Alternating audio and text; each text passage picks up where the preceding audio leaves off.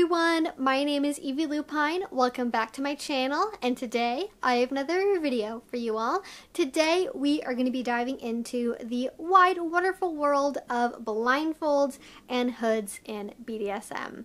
For those of you who are already familiar with my work, you probably realize this is a continuation of my BDSM 101 series, where I talk about all sorts of introductory concepts to BDSM, like how to talk to your partner about kink or how to get started in power exchange. So if you do have those questions, I highly recommend you check out some of my other videos in the BDSM 101 playlist down below.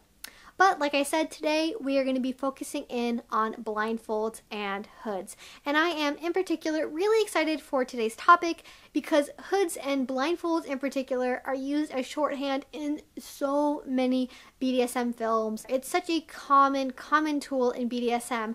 But like so many things, it's not always what meets the eye pun very much intended there. And there's just so much to know when it comes to hood and blindfold. So today we are going to be talking about what these things are, why people like them, how you can use them in a scene, different types that are out there, safety concerns, all of that good stuff. So if that sounds interesting to you, stick around because we're going to go ahead and get into it. So the first thing that I usually like to do in these videos is to start out with a definition of what these things are and why people enjoy them.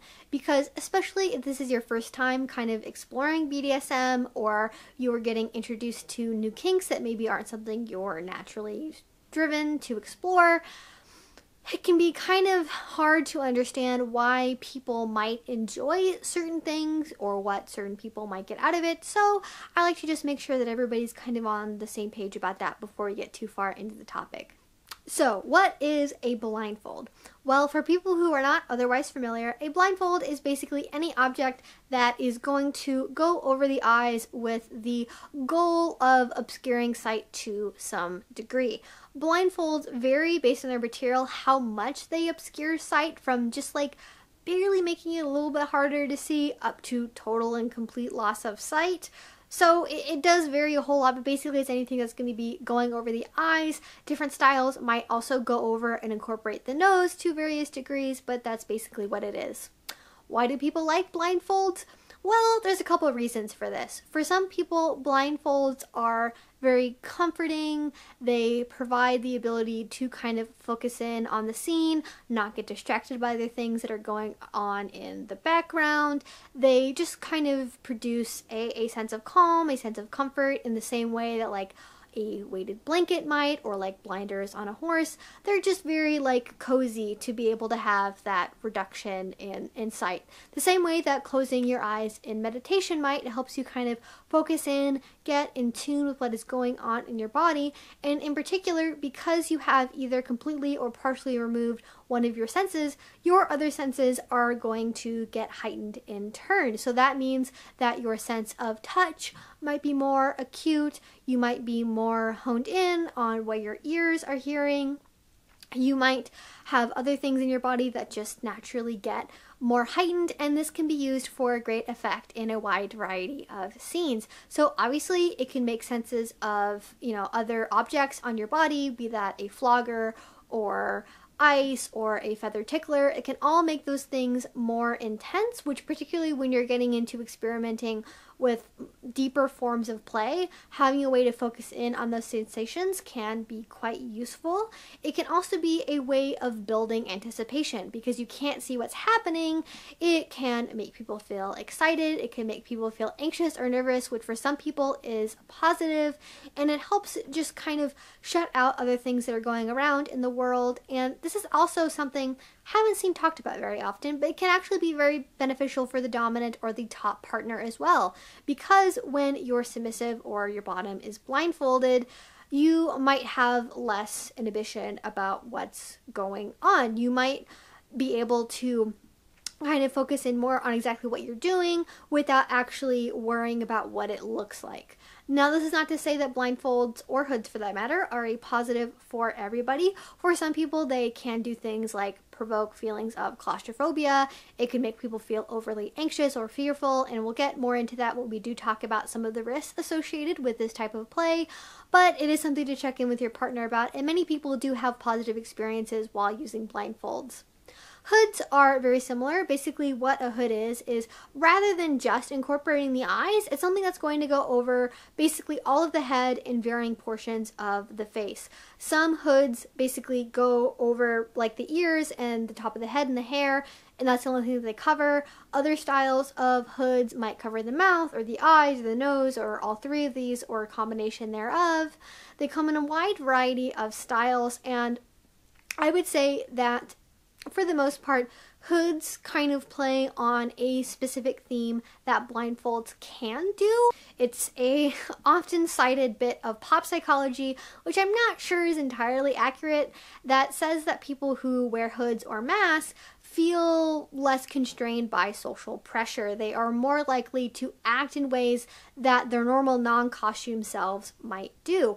And so, for that reason, a lot of people enjoy wearing hoods because it helps them tap into a different persona. It helps them feel like something other than what they are in everyday life. So, for somebody who's, say, a pro Dom, wearing a hood can help you step into that particular aspect of your personality. For people who enjoy role play, particularly animal animal role play, hoods can play a very big role in helping to tap into that animal headspace, that animal frame of mind that you might have. For other people, hoods offer a higher degree of sensory deprivation. But that is a pretty long explanation. Hopefully, that gave everybody a pretty good understanding of what these things are. Now, let's start out by talking about the different types of blindfolds that are out there. The first most common type of blindfold you'll probably see is the classic fabric or silk blindfold. These are basically strips of fabric that could be silk, that could be a tie, that could be a dish towel, something that's basically a strip of fabric that goes over the eyes and manually ties in the back. They don't normally have a lot of bells and whistles. They're very commonly just like DIY materials from around the house. And so for this reason, they make pretty good introductory toys because you probably have the supplies in your house right now to be able to find one. The disadvantage is probably mostly that they, they don't always feel very comfortable because it bunches up the fabric that can compress particularly into the temple area and around the knot in the back of the head. If you want to do anything while you're lying against something or down against the bed, having that big knot can be very uncomfortable as well as very easy to tighten them too much, which can even make people experience headaches in some cases from wearing them too tightly. But overall, they're pretty good introductory toy, even if they're not the most perfectly, uh, you know, ergonomic around the eye area, let's say. And so for that reason as well, they tend to let in more light and be less sight obscuring than some other forms of blindfolds out there. The next most common type I would say is the sleep mask style of blindfold. These basically kind of go around, you know, like a sleep mask does. They may reach out onto the nose in different areas. Some fully cover the nose with like little grommets put in place for the nostrils. Some kind of just go over the bridge of the nose, sort of like a pair of glasses. Some go all the way down. This it really depends based on style, but they're all basically a sleep mask style blindfold. Now these will typically lay flat across the eyes. So that means depending on kind of the shape of of your eyeballs in your skull. They may let in light, particularly through here or through the outer corner of the eyes, again, depending on your anatomy. So they may not be a complete way to obscure sight as well. Because they are flat, they can also compress against the eye, the eyelid. This can feel various levels of just kind of a mild annoyance to very, very uncomfortable. However, these are oftentimes purpose made. They can be a lot more comfortable than something that's just, you know, from your kitchen cabinet at home. They tend to be more adjustable, more versatile, made from more fetish oriented materials like leather, and compared to some of the other models out there, they tend to be a little bit less expensive and you can get them just from innocent vanilla travel shops and for that reason they can often be very nice for kinky travel. The next style of blindfold out there would be the molded blindfold. I kind of consider these a separate category because they can be made in various different ways. I would consider them like the vastly superior and evolved cousin from the standard sleep mask blindfold because basically what these are is rather than merely being constructed out of flat fabric that's laying like this, they're actually sort of cupped against the eyes, which makes them much more comfortable to wear. It makes them so you can actually fully open your eyes in a lot of cases while still wearing the blindfold. So they're a lot more sustainable to wear because, again, they are ergonomic. They are going to be rounded around, you know, the areas of the face. They are going to be at least in my experience, the best way to eliminate as much light as possible, be able to reduce light as much as possible, and again, they are a lot more comfortable. These come in a wide variety of styles. My personal favorite is two very different models on two very, very different price points. You can find on Amazon for probably $10 or less a great blindfold that is adjustable with Velcro, no bells, no whistles, just a standard molded eye travel sleep mask works freaking great as a blindfold. I still have one that I use all the time. It's fantastic. Now, if you want to go something that's a little bit more BDSM related that has a lot more bells and whistles. Scott Paul Designs makes one that is completely cupped around the eye. It has a little bit more of like a boxy shape to it, and it has some extra features on it, like, for example, a little post in the center that you can actually use to incorporate into bondage.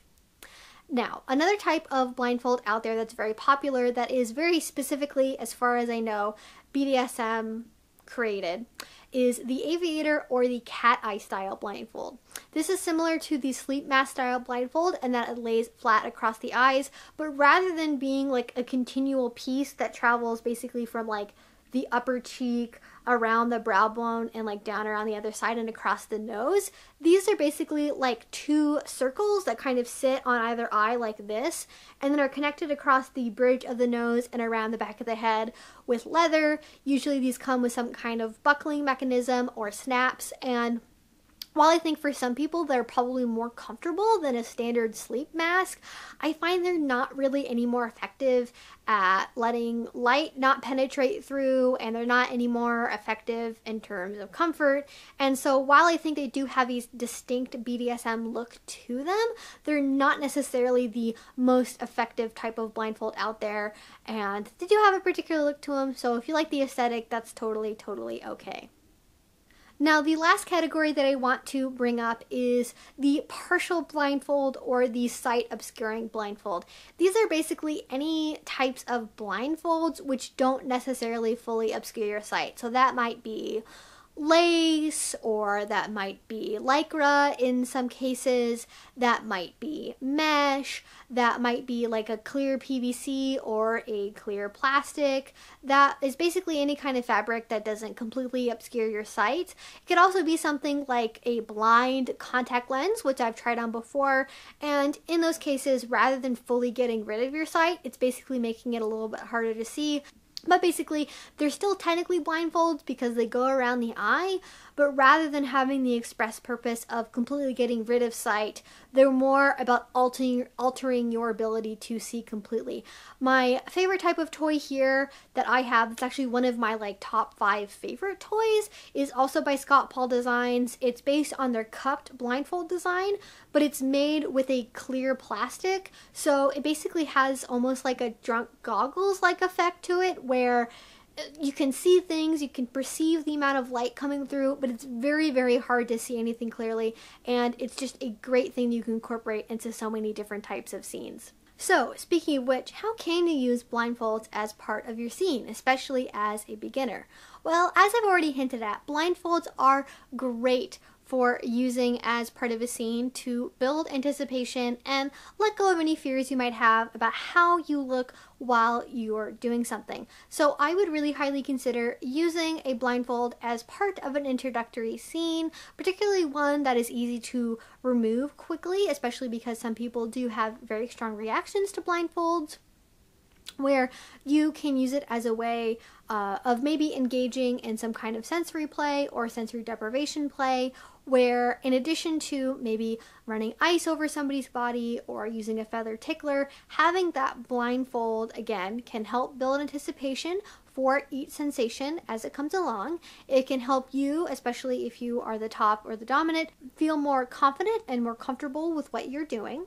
And for the submissive, I think as well, having the blindfold can be something that helps them center in and learn to focus on particular sensations. One particular type of play that I think is really fun to do when you're experimenting with blindfolds and sensory play as a newer person would be to have a scene where the submissive is aware of like every single object that you have on a table and you say this is all the objects we're going to use you negotiate to make sure that everything's okay not going to cause allergies something along those lines and like okay so over the course of the scene i'm going to use every single one of these objects and it's your job to guess which ones I'm using at what time. And then maybe you can build in, if you want to, some kind of maybe power exchange element based on like right or wrong guesses. It's a good thing you can build over time. It can help build a relationship again, especially if you are also experimenting with power exchange. And with blindfolds as well, they can be great on a scene almost on their very own.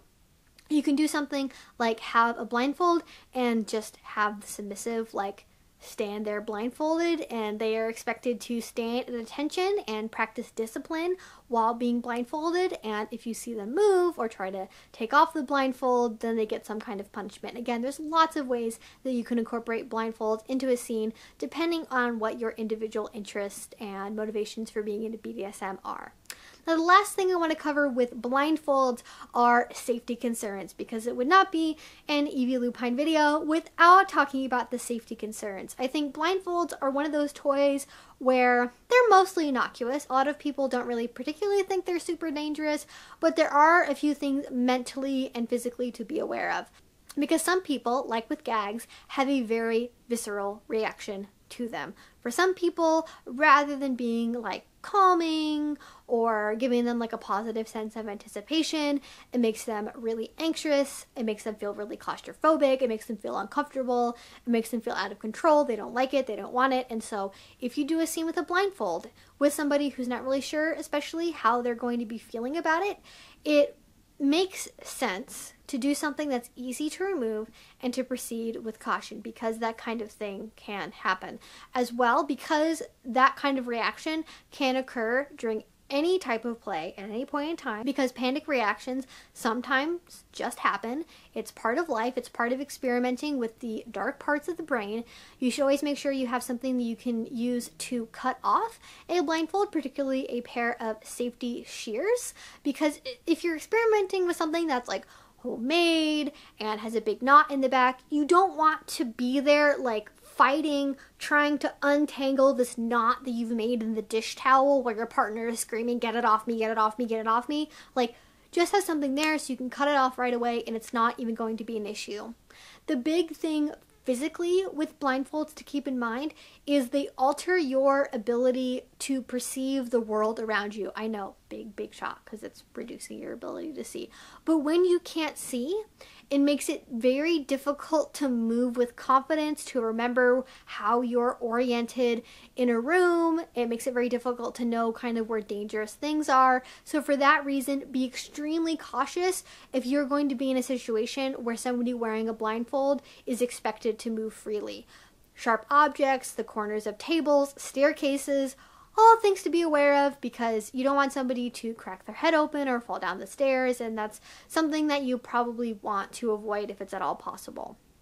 Anyways, I think that's enough about the safety concerns with blindfolds. Overall, they're a relatively safe form of play. They're relatively low risk, but there are some particular things you need to keep in mind because somebody falling and tripping while they're wearing a blindfold and cracking their head open on a table is probably not the kind of thing you want to do your first time having a scene. Now let's go ahead and get into hoods. Hoods I would consider to definitely be a relative to blindfolds. However, I think they can actually be used for a wide variety of purposes, a lot of which blindfolds aren't able to do. One of the big classic types of hoods is the Gwendoline hood. I've not actually ever heard that pronounced out loud, so I'm not 100% sure I'm saying that right, but basically, this is a really classic type of hood that was introduced through bondage art, and it is a style of hood that is almost completely open faced, and it goes around the head and the hair and covers up the mouth, but the nose and the eyes are visible. So this can be really great if you're somebody who is into service or into discipline because it, can restrict speech, it can partially restrict hearing, but you still have your eyes and your nose free. So you're able to still interact with the world in a lot of ways. You're able to see what you're doing. And so, for a lot of people, I think in addition to it being a very classic sort of fetish icon, it's something that is a little bit more accessible than, say, a, a full face mask. Now, another type that is closely related to the Gwendoline hood is the open faced hood. This is very similar in style in a lot of cases, but rather than covering the mouth, it goes completely around the head and actually leaves the mouth open. This is good for a variety of purposes. For some people, this has more of a dom or a dominatrix type connotation to it because it leaves all of the mouth free. It can be something that is very severe looking in some cases because it can frame around the face in such a way where it gives you a very angular jawline and a very angular chin can be something that is kind of a connotation of power. It can also give off a little bit of like wrestling vibes sometime for some people. If you're somebody who is a bottom or a submissive who is interested in using hoods as a way of accessing headspace, I would really recommend trying open faced hoods because the only thing that it's really doing is maybe partially obscuring your hearing. It's leaving everything else free and not also allows you to do things like add in other objects like gags and head harnesses and nose hooks and blindfolds. And it allows you to really mix and match and get a lot of variety around the hood. However, for a lot of people, it does have more of a top or a Dom vibe to it.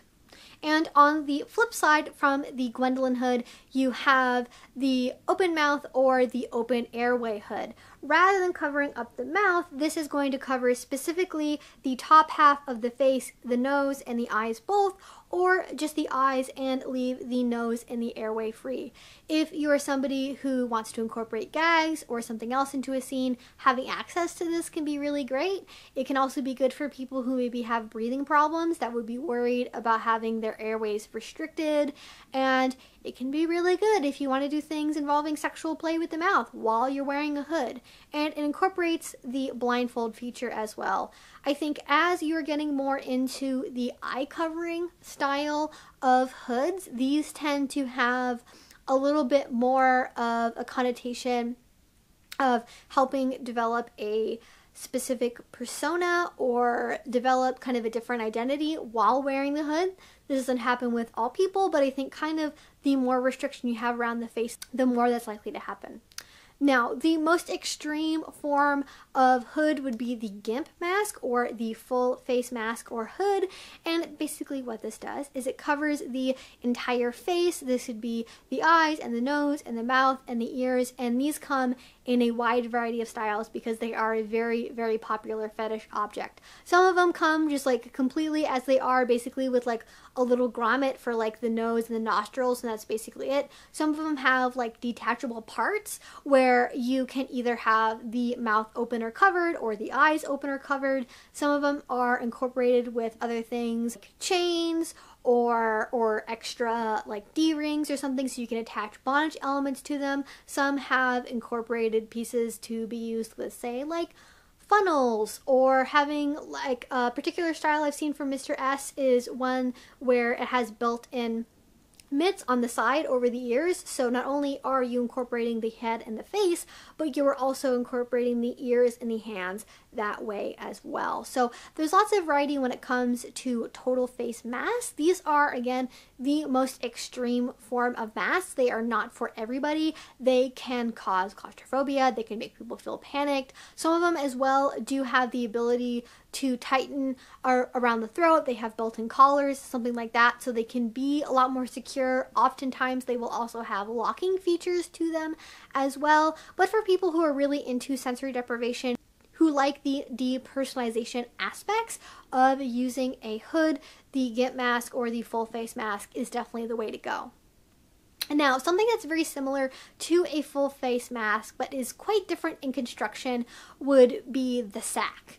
And this is something like a pillowcase or burlap or a leather like bag, something that is basically a bag that you put over the head and it is meant to completely restrict sight. I think this is good for people who want to do something that's a little bit maybe more like CNC focused or based on interrogation or fear play because I mean there's so many movies that show like kidnapping and it's like and then the kidnapper put the sack over her head and then tied it down and then she couldn't see what was happening and ah and like I think it, it brings up a lot of those connotations for people, which if you want to tap into that with play, you absolutely can. Also, super easy DIY at home. You can use the pillowcase that you have off of your bed, and there you go. It's something that you already own. You don't have to go and pay, you know, $200 for it. It's already right there. Super convenient. However, these have a few particular safety issues slash disadvantages to them. One is that depending on the fabric it's made from, it really, really reduces breathability and depending on how it's secured around the head, because that's something you have to do because it's not like conformed around the head unless you trust your submissive or bottom to just not bend over and take it off. Uh, it's uh, it, it's something where it can very easily lead to a lack of airflow that can make people feel panic, and if they're hyperventilating, that might make them feel faint. It might make them pass out. That's always something that you probably want to try and avoid. So be mindful of the types of fabric you are using and how you're using it in a scene. If you are unsure about how breathable something is, do little trial runs with it first before you have it be a big part of a total scene. On the other side of it as well, like I mentioned, there is the securing factor to having the hood on, which would mean you're probably tying it down with something, either a collar over it or rope, or I've even seen like zip ties, which I probably wouldn't recommend. But depending on how you're actually securing it down around the face, if that's something you're doing, that can also lead to easy panic responses. It can make it more difficult for people to breathe, and it's just something that you need to be aware of and something you should always be mindful of whenever you're putting something that is obscuring potentially somebody's ability to have full and complete airflow as they normally would.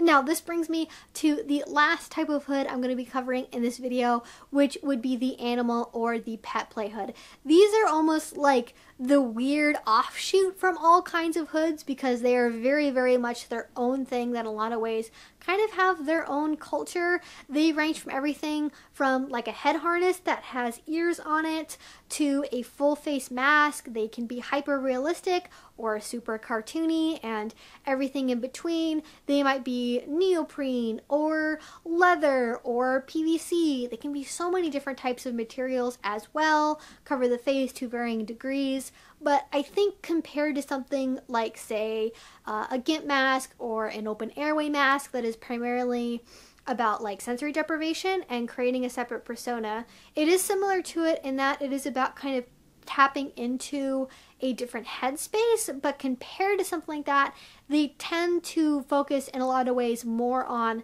making sure the person can still see while wearing the mask because usually when people are are wearing some kind of animal mask or pet play mask, they are rather than trying to like focus in on a specific sensation and like being tied to a St. Andrew's cross, they are usually active and playing with things and engaging in something. And so, for that reason, not restricting the senses as much is often something that is built into these particular pet play or animal style hoods. They are great, as you might guess, for being able to access a particular role play headspace. That is usually their main function. Also, just for costuming in general, if you have a fetish or a kink around wearing certain clothing or gear, that can also definitely be part of it as well. But it almost needs like its whole own separate video because animal role play and pet play and all of these things are something that can be very, very separate in a lot of ways from other types of BDSM play. Now, the last thing that I want to touch on is some scene recommendations if you are considering using a hood or how you might be able to incorporate it into your play.